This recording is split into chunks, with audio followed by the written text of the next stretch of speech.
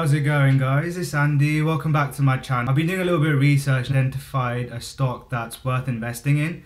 It's called CRISPR, the ticker symbol CRSP. Now this stock is a little bit riskier than some of the other ones I've suggested, but the price is down quite a bit uh, from its all-time high of around 200 back in Jan. Now it's sitting at about the 120 mark. The company I feel has a lot of potential for massive growth because of the drugs in its pipeline and it's operating in a really exciting area as well and there are some catalysts which could propel the price even further. CRISPR is a pioneer in the gene editing space and it is licensing technology from a Nobel Prize winner. Guys, if you like this content, don't forget to like, don't forget to subscribe. The company's lead candidate is a drug called CTX001 and it's currently being developed with uh, Vertex it is a potential blockbuster treatment uh, for sickle disease and beta thalassemia. Company recently reported positive clinical trial data and it's also guaranteed revenue from Vertex 1 billion after successful completion of the trials and approval for around uh, 40% of overall sales. What makes this stock really exciting for me is the fact that Wall Street analysts are also uh, giving the stock a fairly high target in the region of 120 to 180 with an average price target uh, of 160 so with the share price currently sitting at around the 120 mark there is um, an upside potential um, in the short term and over the next two or three years i wouldn't be surprised if it rises even more double treble. Mm, very much dependent on how the drugs are doing but there are a lot of catalysts for growth for all the uh, drugs in its pipeline. So this is definitely something um, i'm adding to my portfolio. It gives me exposure to the gene editing space which is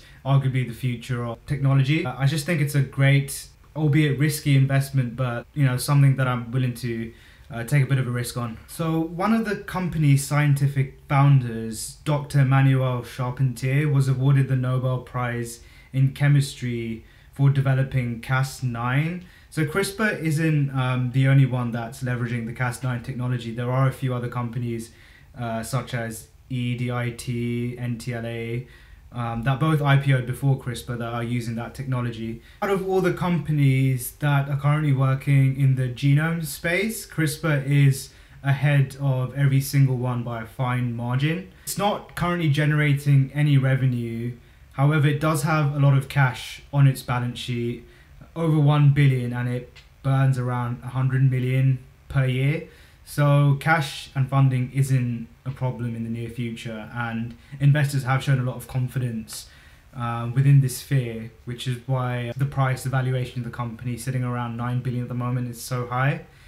It's really exciting. There is a lot of potential, and for the more risk-taking investor, I think it's um, definitely worth the. In Vertex, CRISPR has a partner that knows how to commercialize drug development. Vertex is already receiving revenue from its cystic fibrosis treatment in the region of around 6.2 billion. So that gives confidence to me that CRISPR will be able to market the drug once it is approved.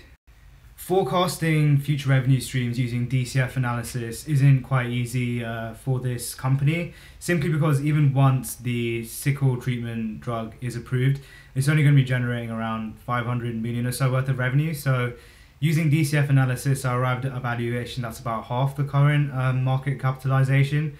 However, like given the technology, given how many um, drugs are in the pipeline at the moment, the firm could very easily have a eureka moment which causes the stock price to go up and there is a lot of potential with this. So any like positive bit of news could really cause the price to rocket, in my opinion.